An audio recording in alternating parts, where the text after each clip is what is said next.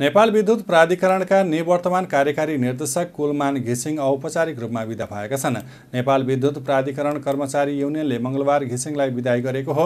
विदाई कार्यक्रममा बोल्दै घिसिङले प्राधिकरण सामु आगामी दिनमा विभिन्न चुनौती हुन सक्ने सङ्केत गरे प्राधिकरणले हासिल गरेको उपलब्धिलाई संस्थागत गर्नु पहिलो चुनौती हुने बताउँदै उनले उत्पादित विद्युतको सही व्यवस्थापन लगायतको चुनौती आउन सक्ने बताए।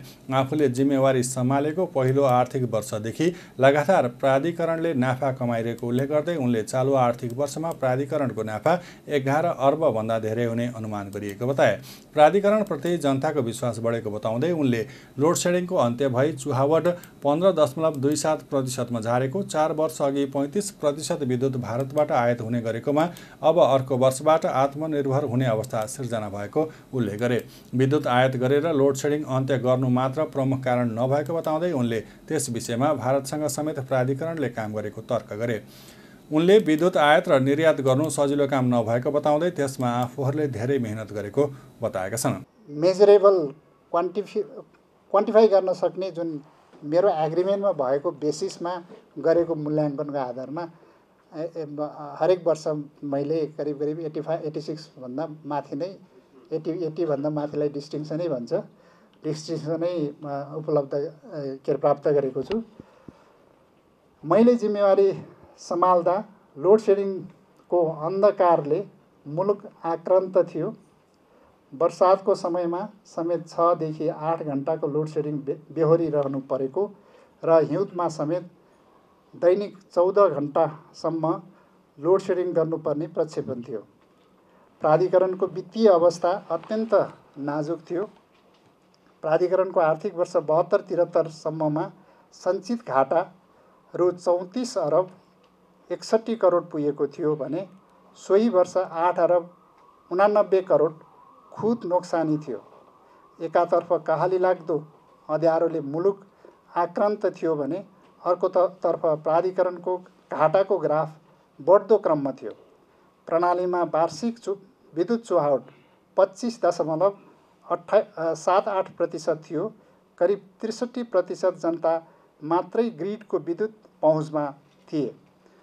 सरकारले मलाई दिएको मुख्य जिम्मेवारी पनि लोड सेडिङको अन्त्य गरी अँध्यारो युगलाई उज्यालो बनाउने र प्राधिकरणको सुधार गर्ने नै थियो। वर्षभरिमा सबैभन्दा बढी विद्युत माग हुने तिहारको लक्ष्मी पूजाका दिन कुशल व्यवस्थापन एवं प्रभावकारी प्रणाली सञ्चालन मार्फत मार्फत परीक्षणको रूपमा मुलुकभरि निरन्तर विद्युत आपूर्ति गर्न सफल भयौँ। दुई हजार त्रिहत्तरको लक्ष्मी पूजाको दिन लोड सेडिङ अन्त्य गरी मुलुकलाई उज्यालो बनाउने प्रस्थान बिन्दु थियो। लक्ष्मी पूजाको दिन हासिल भएको सफलताले हामीलाई थप हौसला प्रदान गर्यो। यसपछि त्यसपछि पहिलो चरणमा राजधानीसहित मुलुकका प्रमुख सहरहरूमा लोड सेडिङ अन्त्य गर्नतर्फ हामी केन्द्रित भयौँ। अन्तत मुलुकलाई उज्यालोतर्फ अगाडि बढाउन सफल भयो। वैशाख दुई हजार पचहत्तरदेखि औद्योगिक ग्राहकको पनि लागि पनि लोड सेडिङ अन्त्य गरी मुलुकबाट लोड सेडिङलाई इतिहासमा विलय गराइदिएका छौँ। सम्मान्य प्रधानमन्त्री माननीय मन् ऊर्जा मन्त्री ऊर्जा सचिव प्राधिकरण सञ्चालक समितिका सदस्यज्यूहरू राजनीतिक तथा प्रशासनिक नेतृत्व कर्मचारी र आम उपभोक्ताको साथ र सहयोगमा नै सम्झँदै कहाली लाग्दो। त्यो अँध्यारो युगलाई इतिहास बनाउँदै उज्यालो युग सुरुवात गर्न सफल भएका छौँ। विद्युत माग र आपूर्ति बिचको सन्तुल सन्तुलित वैज्ञानिक व्यवस्थापन र इमान्दार प्रयासबाट मुलुकलाई लोड सेडिङ मुक्त बनाउन सफल भयौँ तर लोड सेडिङ अन्त्य मात्र गर्नु मात्र हाम्रो अन्तिम अभिष्ट थिएन। हाम्रो योजना प्राधिकरणको चौतर्फी सुधार र विभिन्न कारणले जीर्ण बनेका तथा अलपत्र अवस्थामा रहेका उत्पादन प्रसारण र वितरणतर्फका आयोजना सम्पन्न गर्नु तथा नयाँ सुरु गर्नु थियो। जीर्ण बनेका अधिकांश आयोजनाहरू निरन्तरको प्रयासबाट निर्माण सम्पन्न भएका छन् भने केही सम्पन्न हुने चरणमा पुगेका छन्। हामीले सञ्चालन गरेको उज्यालो नेपाल अभियानबाट जनताले नियमित विद्युत आपूर्ति मात्रै पाएका छैनन् प्राधिकरणको प्रशासनिक तथा वित्तीय सुधार पनि भएको छ। ऋणात्मक रहेका प्राधिकरणका वित्तीय सूचकाङ्कहरू धनात्मक बनेका छन्। मैले जिम्मेवारी सम्हालेको पहिलो आर्थिक वर्षमा प्राधिकरण एक अरब सत्तालिस करोड खुद नाफा कमाउन सफल भयो। त्यसपछिका वर्षहरूमा नाफाको ग्राफ उकालो लाग्दै गयो। दोस्रो वर्ष दुई अरब पचासी करोड तेस्रो वर्ष नौ अरब एकासी करोड र चौथो वर्ष नाफा बढेर एघार अरब पाँच करोड रुपियाँ पुगेको छ। कुनै बेला कर्मचारीलाई तलब खुवाउन पनि सरकारको मुख ताक्नुपर्ने अवस्थामा पुगेको प्राधिकरण सञ्चालनमा रहेका सार्वजनिक संस्थाहरूमध्ये दुई वर्षदेखि सबैभन्दा बढी खुद नाफा कमाउने संस्था बनेर गौरवमय इतिहास बनाउन सफल भएको छ। चालु आर्थिक वर्षको बजेटमा प्राधिकरणको नाफा रु एघार अरबभन्दा बढी रहने प्रक्षेपण गरिएको छ। ऋणात्मक रहेको सञ्चित कोष धनात्मकतर्फ अघि बढिरहेको छ। चार वर्षको वर्ष अघि चौतिस अरब एकसट्ठी करोड रुपियाँ सञ्चित नोक्सानी रहेकोमा आर्थिक वर्ष छ्यात्तर सतहत्तरमा प्राधिकरणले सम्पूर्ण सञ्चित नोक्सानीलाई शून्यमा झारी करिब पाँच अरब रुपियाँ नाफामा लैजाने लैजान सफल भएको छ। कर्मचारीको तलब खुवाउन समेत सरकारको मुख ताक्नुपर्ने अवस्थाबाट गुज्रिरहेको प्राधिकरणले पूर्वाधार विकासका योजना बनाउँदा खुट्टा कमाउनु पर्ने अवस्था थियो तर अबका दिनमा उत्पादन प्रसारण र वितरणको लागि आवश्यक बजेट प्राधिकरण आफैले पनि व्यवस्था गर्न सक्ने अवस्थामा पुग्नेछ। विगत चार वर्षमा हामीले गरेका प्रयासले प्राधिकरणको गरिमालाई उच्च बनाएको छ।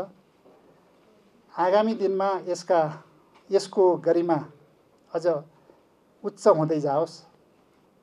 मेरो सधैँ नै साथ सहयोग र समर्थन रहिरहनेछ। नेतृत्वको निरन्तरता वा परिवर्तन नियमित एवं स्वाभाविक प्रक्रिया हो। यसलाई हामी सबैले आत्मसात गर्नुपर्छ। म यसलाई बुझिदिन सबैलाई अनुरोध गर्दछु। अन्तमा सम्पूर्ण नेपाली जनता मेरो प्रेरणाका स्रोत हुन्। आगामी दिनमा मेरा सम्पूर्ण प्रयासहरू नेपाल र नेपाली जनताको समृद्धिको चाहना पुरा गर्ने तर्फ केन्द्रित रहनेछ। अहिले हामीले इम्पोर्टमा पनि सस्तो इम्पोर्ट कसरी गर्ने भनेर फ्लेक्सिबल इम्पोर्ट अहिले चाहिँ बेलुका कति कति घन्टालाई चाहियो? त्यति घन्टा इम्पोर्ट गर्ने रातभरि नलिने दिउँसो लिने चाहेको बेलाको इम्पोर्ट पनि हामीले त्यो सस्तोमा इम्पोर्ट गर्न थाल्यौँ। यो त म्यानेजमेन्टले सोचेर भिजन दिएर गर्ने कुरा हो नि त। त्यो त्यो त्यो त सम्भव थिएन। त्यो भएको हुनाले यो पनि महत्त्वपूर्ण हो। हामीले लस घटायौँ र यो चाहिँ चुहावट मात्रै होइन। यो खर्च कटौतीको विषयहरू छन् बजेट नियन्त्रणका विषयहरू छन् यी तमाम कुराहरू गरेर नै हामीले संस्थाको चाहिँ नाफालाई पनि अगाडि ल्याएका छौँ। यो यसलाई हामीले संस्थागत गर्नुपर्छ निरन्तरता दिनुपर्छ। लोड सेडिङ अन्त्य भयो। अब हाम्रो चाहिँ ठुलो चुनौती भनेको व्यवस्थापन यो अब यो डिमान्ड स्टिमुलेट कसरी गर्ने डिमान्डलाई कसरी चाहिँ बढाउने भन्ने नै हो। आगामी दिनमा यो विषयहरूमा अगाडि बढ्ने नै छ। घिसिङले प्राधिकरणले उल्लेख्य फड्को मारेको र आफ्नो कार्यकालमा चार सय सन्ताउन्न मेगावाटका कार्य आयोजना सञ्चालनमा आएको बताए। देशमा विद्युतलाई आत्मनिर्भर काठमाडौँलाई तार र पोल रहित बनाउने डिजिटल प्राधिकरण बनाउने देशभर विद्युत पुर्याउने जस्ता काम आफूले पुरा गर्न नपाएको उनले बताए। उनलाई सरकारले दुई हजार त्रिहत्तर साल भदौ उन्तिस गते चार वर्षका लागि नेपाल विद्युत प्राधिकरणको कार्यकारी निर्देशकमा नियुक्त गरेको थियो।